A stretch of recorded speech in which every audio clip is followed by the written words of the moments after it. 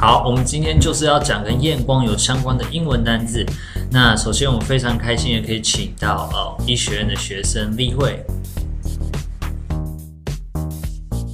好，他有点害羞，不过没有关系。那呃，首先我们第一个英文单字就是近视。那我们一般近视要怎么说呢？Nearsighted. Nearsighted. 那远视呢？远视我们怎么说？Farsighted. Farsighted. 可能一般来讲，我们的在英文的远视啊，其实就是哦，我们常常会说老花眼，其实是一样的意思啊。那接下来这个例会就用医生的角度，把我们刚才讲近视还有远视特的例句，那我们来做一个对话。Do you have glasses? Yes, I do. Okay, are you nearsighted or farsighted? Nearsighted. 那基本上就是哦我进医生的啊 office，他就问我说：“我们戴眼镜？”我说有。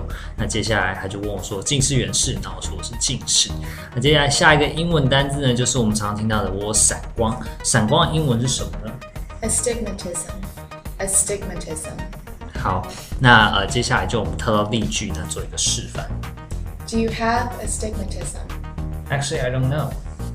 后来就是呃，他问我有没有闪光，那我就说不太清楚。那医生可能就会呃做一些测验啊，测验出啊到底闪光的、呃、程度是多少。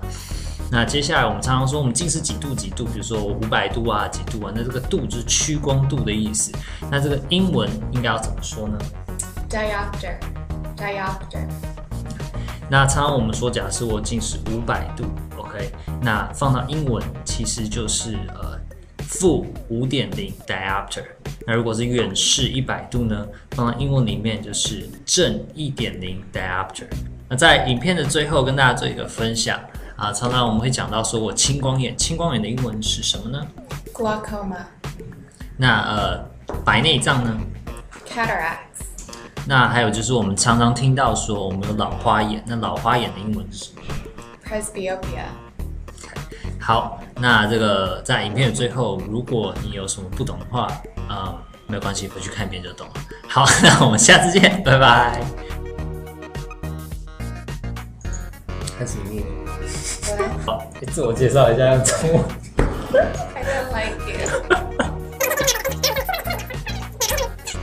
呃，大家有什么不懂的地方？呃，不懂。Do I have to be in the camera? Yes, you do.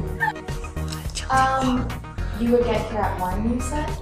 I hate you.